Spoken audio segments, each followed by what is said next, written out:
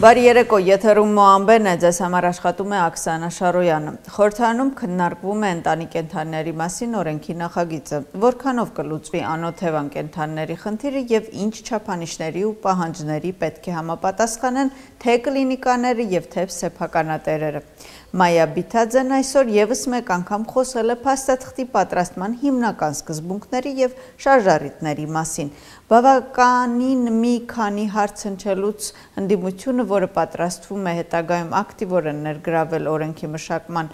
հետ գործընթացում, տվել է հարցեր։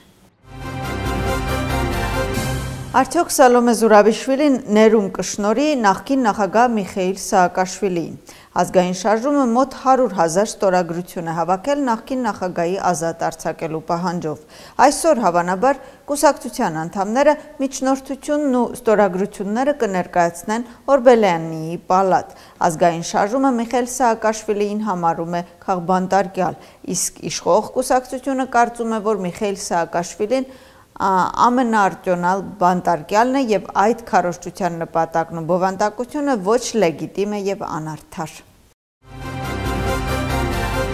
Զուրեբ Ազարաշվիլին սոցցանցում առաջին անգամ գրառում է արել իր առողջապահության նախարարի պաշտոնը լքելու վերաբերյալ։ Նա ամփոփել է երկամյա գործունեությունը, որտեղ նշվում է, որ թիմի միասնական ոգով եւ Իրակլի Ղարիբաշվիլիի քաղաքական հզոր աջակցությամբ իրականացվել են բարոյփոխումներ, որոնք շատերի կարծիքով աներևակայելի բարձր մակարդակ են ունեցել։ Ցանկանում եմ իմ անկեղծ շնորհակալությունը հայտնել Իրակլի Ղարիբաշվիլիին վստահության համար, որը ինձ հնարավորություն տվեց ծառայելու իմ երկրին 20 տարվա բանկային գործունեությունից հետո։ Հենց այս աջակցությամբ ու միաձայնությամբ մենք կարողացանք երկու տարվա համակարգում երկու տարվա ընթացքում համակարգում բարեփոխումներ իրականացնել, որոնք այն ժամանակ չլուծված էին, իսկ վերջին 30 տարիների ընթացքում անհնարին էր եղել լուծել։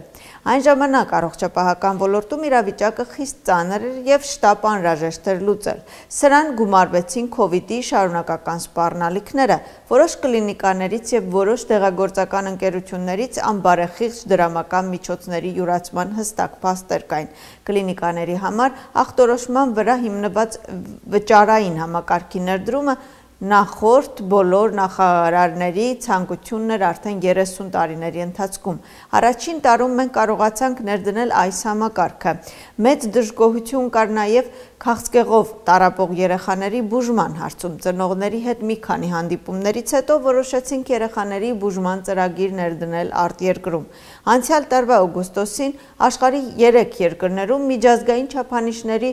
7 բազմաբնույթ կլինիկաներում մանկական ուռուցքաբանությունը ֆինանսավորում ենք ամբողջությամբ։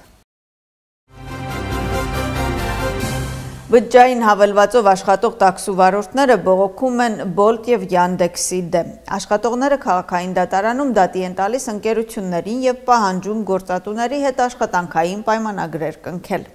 Բացի այդ նաև B կարգի տաքսուվարորդների նախքին պահանջը մնում է ուժի մոչ, այն է, այն է ավտոբուսի գծով, բասլայնով տեղաշարժվելու իրավունք ստանալը եւ տուգանքների վերաբերյալ որոշում կայացնելը աշխատակիցների կարծիքով Թբիլիսիի բոլոր տաքսիները պետք է կարողանան երթևեկել ավտոբուսի գոտիով, բասլայնով։ Թբիլիսիի քաղաքապետ Կախակալաձեն արձագանքել է վարորդների պահանջներին, ըստ նրա նրանք բավական ժամանակ են ունեցել կատեգորիան ընտրելու եւ քաղաքապետարանի սահմանած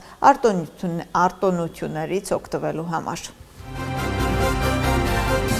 Մետաքսի պետական թանգարանի վերականգնողական վերամշակման աշխատանքները իրականացնում է Թբիլիսի զարգացման հիմնադրամը թանգարանների վերականգնման ծրագրի շրջանակներում։ Այս փուլում ընթացքի մեջ են շենքի ճակատի գեղարվեստական լուսավորության եւ պատի ներկման, ինչպես նաեւ ճակատային բակի բարեկարգման վերականգնման աշխատանքները։ Առաջին փուլում շենքը կոնստրուկտիվ ամրացվեց, վերականգնվեցին հաղորդակցությունները, կազմակերպեցին ջրհեռացման եւ ջերուցման համակարգերը, մաքրվեցին աղյուսե պատերը, տեղադրեցին երկաթյան ներքին դռներն ու պատուհանները։ Այն լիովին հարմարեցված է սահմանափակ կարողություններ ունեցող անձանց համար։ ազգային շարժման նախագահ եւ շինարարի ռազմավարության կուսակցության կապերի արտաքին կապերի քարտուղարը հանդիպել է Փոթիի բնակչության հետ։ Նրանք բնակչությանը խոստանում են տնտեսական բարգավաճում եւ բոլոր թերությունների մեջ մատնանշում վրացական երազանքին։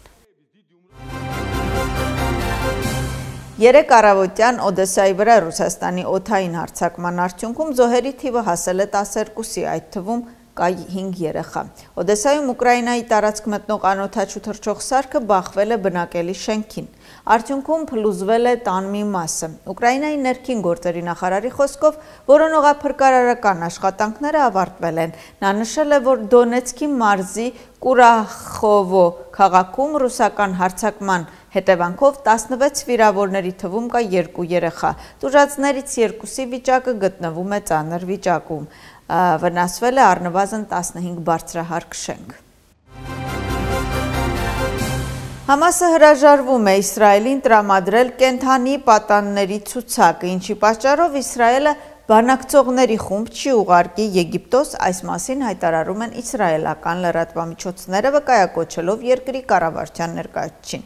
Ըստ շրջանառվող լուրերի Իսրայելը պետք է նաև պահանջ ստանար Համասից, թե քանի պաղեստանցի բանտարկյալ պետք է ազատ արձակի Իսրայելը յուրաքանչյուր ազատ արձակված պատանդի դիմաց։ Եգիպտոսի մայրաքաղաքում են Համասի, Քաթարի եւ ԱՄՆ-ի ներկայացուցիչները։ ԱՄՆ-ի փոխնախագահ Քամալա Հարիսը երկու կողմերին կոչ արել անհապաղ անհապաղ դադարեցնել կրակը։